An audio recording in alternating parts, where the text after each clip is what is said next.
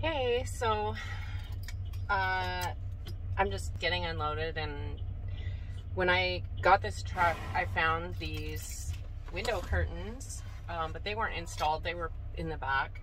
And I looked on YouTube to find a video to because I couldn't figure out how to get them on this track here. There's a track that goes all the way along the front and um, anyway, there was no instructions, no instructional video that I could find, so I thought I would make one for anyone else out there.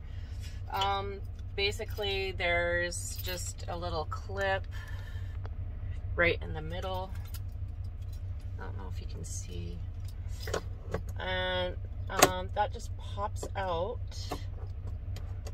with a, I just use my key or you can use a screwdriver. And then there's just a little space in between, um, right, at, and then you, you can just tilt the, the uh, hangers. Um, one of them broke. You have to be careful. I, I can't get this one out. I wanted to get it out so I could maybe try and crazy glue it back on to the other part of it.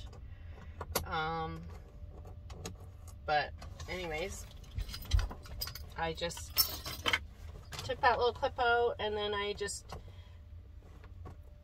uh, you just sort of sideways bend the, the hangers into this track.